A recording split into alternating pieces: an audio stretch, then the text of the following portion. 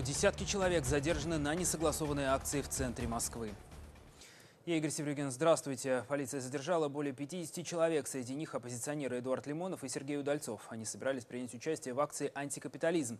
На задержанных составили протокол за нарушение порядка проведения митинга. До понедельника Удальцова оставят в отделении полиции, Лимонова отпустили. Активисты рассчитывали провести марш левых организаций против капитализма на Пушкинской площади.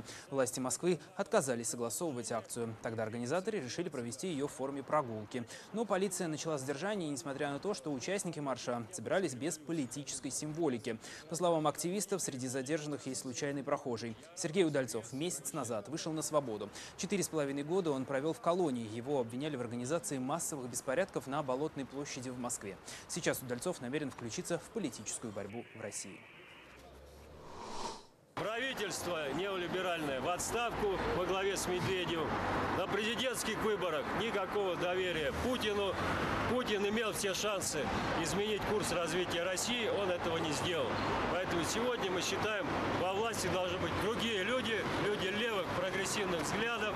И президентскую кампанию мы обязаны использовать для того, чтобы навязать э, кремлевскому режиму настоящую борьбу.